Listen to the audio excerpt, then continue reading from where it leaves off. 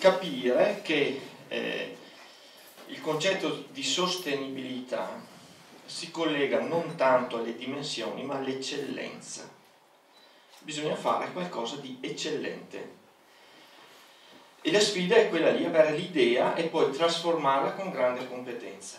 Il secondo aspetto però, secondo me, è legato al, a esprimere le potenzialità. Cioè io devo capire su un territorio quali sono i bisogni, ma devo far esprimere le potenzialità di quel territorio, che magari sono nascoste e che non riesco a esprimere. Allora quando, faccio un esempio, quando voi parlate di Sant'Orso, vi sbagliate. Qui non si parla di Sant'Orso, si parla di un territorio. Quando, non so, dieci giorni fa c'è stato l'avvio del corso universitario di fisioterapia, che qui abbiamo, cos'è?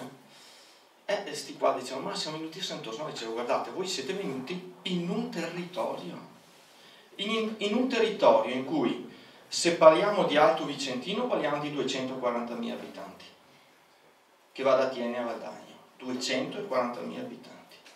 Se invece parliamo del, dire, del, dello scledense, definiamolo così, parliamo di 60-70.000 abitanti.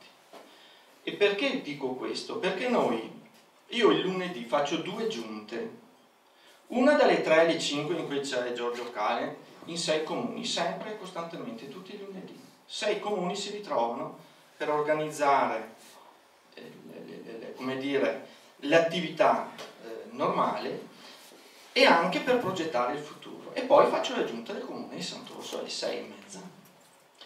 Questo sistema di rete che c'è con l'impresa perché oggi qua in 3-4 veniamo dall'IPA, abbiamo fatto riunione dell'IPA tra imprenditori e, e, e, e, comuni. Questo è una potenzialità eccezionale ad esempio del nostro territorio. Per cui parlare di Villa Rossi non è parlare di Sant'Orso e Schio perché sono i proprietari, ma è parlare di una possibilità territoriale ed è questa la nostra grande fortuna aggiungo un'altra, parlando di, di, essere eccellenti. Lo dicono eh, no, noi abbiamo il museo che anche in questo caso è il museo archeologico dell'Alto Vicentino.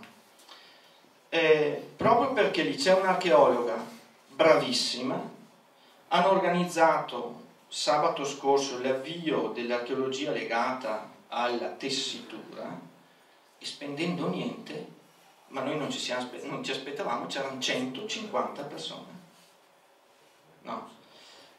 L'importante è scoprire che hai un'archeologa che abita qui, che è entusiasta del suo mestiere e che questa archeologa in questo piccolo museo faccia qualcosa di eccellente. Ecco, quella secondo me è un meccanismo che ci fa sperare in una sostenibilità.